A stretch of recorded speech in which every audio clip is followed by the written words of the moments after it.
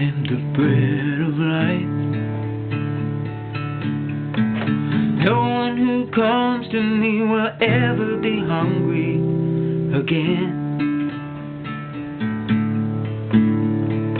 Those who believe in me will never thirst. I am the bread of life.